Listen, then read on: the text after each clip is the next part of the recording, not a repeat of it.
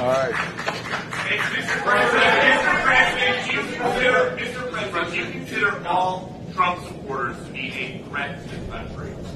No, everyone. Come on, look, guys. You keep trying to make that case. I don't consider any Trump I do think anyone who calls for the use of violence fails to condemn violence when it's used. Refuse to when an election has been won. Insists upon changing the way in which the rules count votes. That is a threat to democracy.